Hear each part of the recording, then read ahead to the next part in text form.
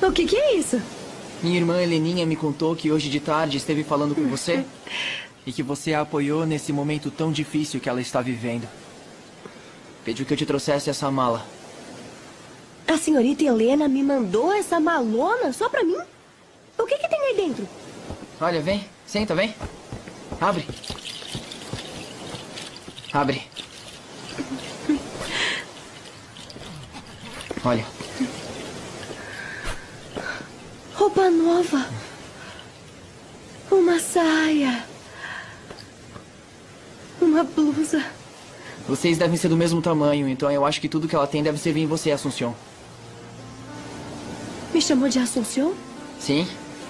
Alguém me disse que esse era o seu verdadeiro nome, Assunção, mas que te chamam de Chon. Eu pensei muito em você desde aquele dia da quermesse.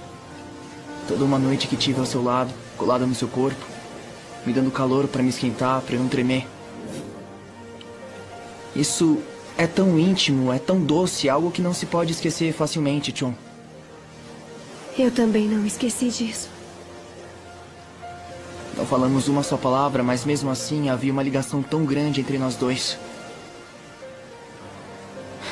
Eu te amo, Chon. Eu compreendi enquanto estava convalescendo na minha cama que me apaixonei por você.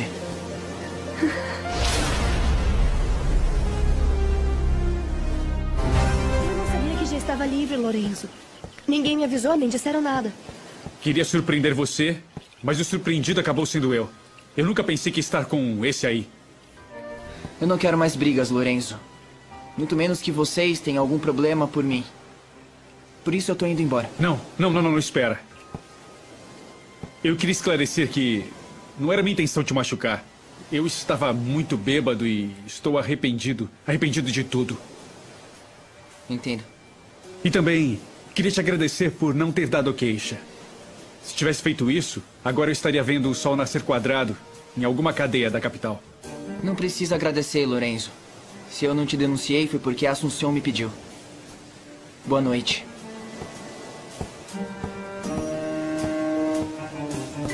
Eu tô muito feliz que esteja livre.